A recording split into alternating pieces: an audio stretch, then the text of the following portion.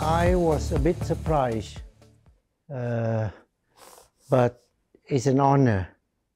And uh, from the email I got notified, I'm glad that the email make it clear that they recognize two things. Uh, one is the, that my academic work that contributed not only to study of Thailand and Southeast Asia, but also the how to say uh, also the implication and uh, it's relevant to the larger beyond uh, Thailand and beyond Southeast Asia. That's the first thing I'm, I'm very glad. Second thing is that they recognize that I'm all the time, all this time, I have involved not directly, not closely, but at least follow and still have some role to play in the struggles for democracy and justice in Thailand.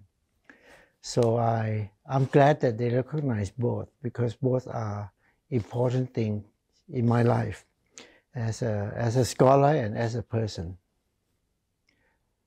I take history seriously. It's really important. Not because it is a kind of knowledge that, in my opinion, is very valuable, but also I, I, I think history is a kind of dangerous knowledge too.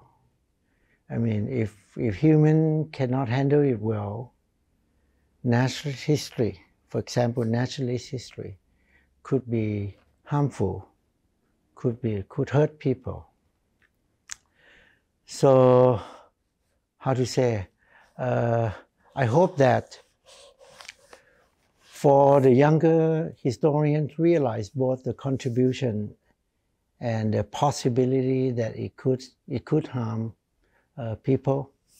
Uh, but on, all, overall, I see history is, is, a, is a very important subject, a very important way to think about the world because it, it shows us uh, the way to understand the present in different ways. And if you understand the past differently, you would understand the present differently, which also means the possibility of, for a better future.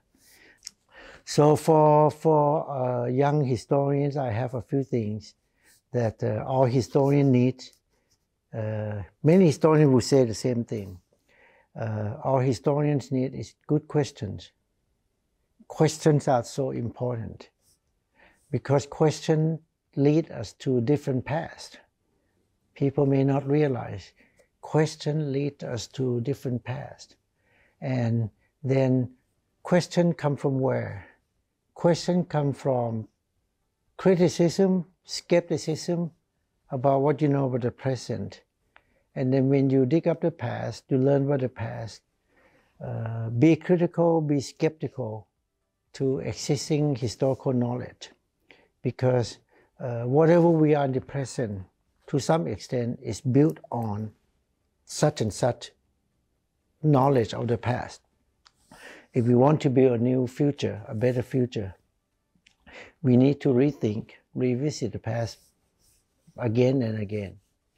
So critical and skepticism to the present, uh, critical and skepticism to existing knowledge about the past, uh, and uh, good imagination, of course.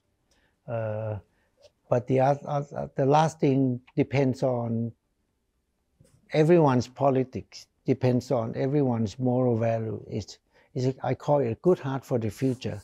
I mean, knowing the past, knowing the present is for, is for what? To, to do something for the future whether they want to get rich, whether they want to get powerful, whether they want to do something to help people fighting for democracy justice. Uh, people are different. I would say historical knowledge would be variable to, to whatever aims, whatever objective in people's life.